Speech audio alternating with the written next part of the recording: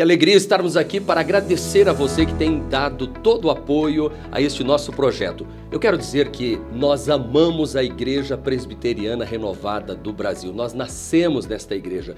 Nunca desistimos de lutar por esta igreja, que nasceu por causa de vida de homens e mulheres que de joelhos dobrados oraram, derramaram lágrimas, muitas vezes em jejum e oração. Ah, como eu me lembro. Me lembro de minha mãe, Esther Gonçalves Josepete, da famosa vigília das sextas-feiras na casa de minha mãe, orando, jejuando, intercedendo a Deus pela Igreja Presbiteriana Renovada do Brasil. Bom lembrar que pastor Abel Amaral Camargo e sua esposa Jaci presidiram a Igreja Renovada por 14 anos. Verdade. Quanto aprendemos com aquela mulher. Sim. Doutor Jamil 12 anos presidindo a Igreja Renovada do Brasil. Depois, por causa de uma enfermidade, ele foi impedido de continuar. Foi aí que então nós oramos, eu e minha esposa, conversamos com o Dr. Jamil e indicamos o nome do atual presidente, pastor Advanir, que vem há 22 anos e 9 meses à frente da igreja. O nosso desejo neste momento em colocar nosso nome. Digo nosso porque eu quero presidir esta igreja ao lado da minha esposa, uma mulher de oração, uma mulher que tem influenciado muitas mulheres em todo o Brasil. Eu louvo a Deus porque o nosso ministério tem sido nosso. Nós temos a oportunidade de influenciar mulheres, de levar mulheres, desafiando mulheres a estarem orando, dando total apoio consagrando suas vidas e no altar, sendo influência para outras mulheres, fazendo da sua casa um lar de oração, desafiando famílias a terem os seus filhos também no altar.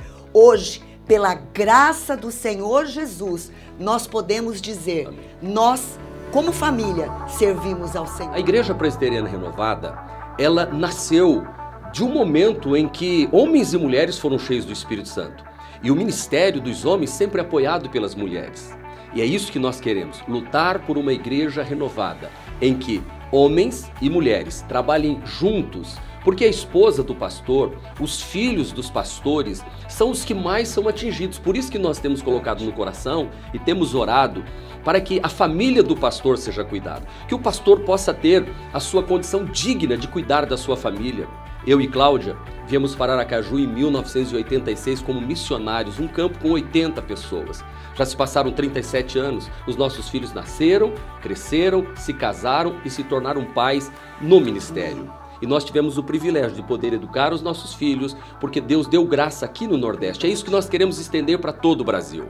Nós temos a alegria hoje de ter os nossos filhos no altar, deles terem casado com pessoas que entenderam este projeto e de nossos netos hoje no altar, também com o microfone já estarem sendo treinados para adorarem e celebrarem Jesus. Como é lindo nós é, podemos ver isso. Isso só pode acontecer porque a graça de Deus se derramou Sim. sobre nós. Nós não temos nada de especial, mas é esta experiência que Deus tem cobrado de mim e cobrado da Cláudia, para que nós estendamos este legado, que nós possamos ajudar os pastores da Igreja Presbiteriana Renovada. Se pastor Abel, pastor Jamil, pastora Divanir lutaram pela dominação, lutaram pelos pastores, pelas famílias, nós queremos também deixar este legado. Estamos preparados para este momento. Queremos visitar o Brasil, queremos saber da sua realidade, queremos saber dos seus problemas. Aliás, conhecemos os problemas dos pastores, das esposas de pastores, dos filhos de pastores, porque nós passamos por isso era para eu estar me aposentando na Universidade Estadual de Maringá, mas eu abri mão. Cláudia podia estar já aposentada também, ela como uma psicóloga, como uma, uma mulher usada por Deus, mas nós abrimos mão de tudo. E digo, nunca deixamos a igreja presbiteriana renovada, nunca lutamos em outra senda, estamos aqui desde o início. E é por isso que eu entendo que nós estamos prontos e preparados para ajudar a Igreja Presbiteriana Renovada, os pastores e suas famílias a voarem mais alto. Isso é possível, sim, eu acredito. E hoje nós podemos dizer 37 anos nos três turnos experimentando, sendo pastores, experimentando dores, experimentando alegrias, vivendo várias emoções em 24 horas totalmente diferenciadas. E é isso que nós podemos hoje dizer, que estamos preparados. Não que somos melhores do que qualquer outro, não. Mas estas experiências vividas dia a dia é que nós podemos estar podendo ajudar. Eu, na pessoa de mulher, podendo ajudar você, mulher, podendo nos juntar, porque a experiência eu sei que você tem também em outras áreas, e juntas podemos levantar as mulheres do nosso Brasil.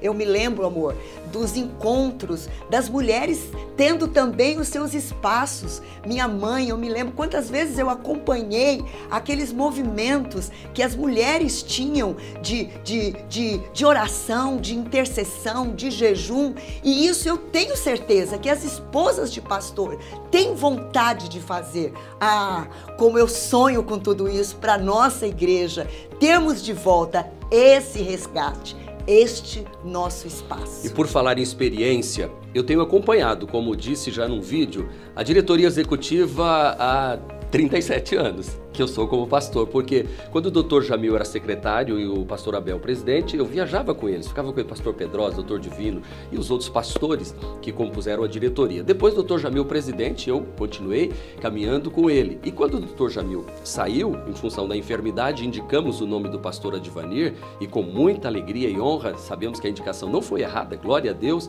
E eu aí entrei na diretoria como segundo tesoureiro, segundo secretário, secretário executivo e vice-presidente eu venho acumulando há quatro mandatos, já há quase 13 anos. Pastor Advanir está à frente da igreja há 22 anos e 9 meses. Fez um trabalho belíssimo, mas agora eu entendo que chegou o momento de darmos oportunidade para outras pessoas também servirem, não apenas na presidência, mas também em toda a diretoria executiva.